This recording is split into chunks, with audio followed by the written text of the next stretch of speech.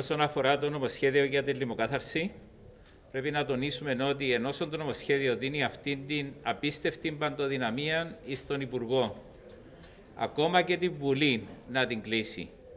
Την απίστευτη παντοδυναμία την οποία δίνει το δικαίωμα να παίρνει αποφάσεις το τι είναι ε, επικίνδυνη ασθένεια.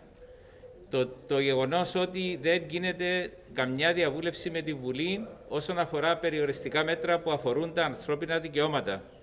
Το γεγονός ότι δεν γίνεται καμιά αναφορά σε αποφάσεις ή προτρέψεις ή προτροπές, να το πω πιο σωστά, του Παγκόσμιου Οργανισμού Υγείας. Με αυτόν τον τρόπο και με αυτές τις πρόνοιες του νομοσχεδίου, εμείς δεν πρόκειται να το υποστηρίξουμε στη Βουλή.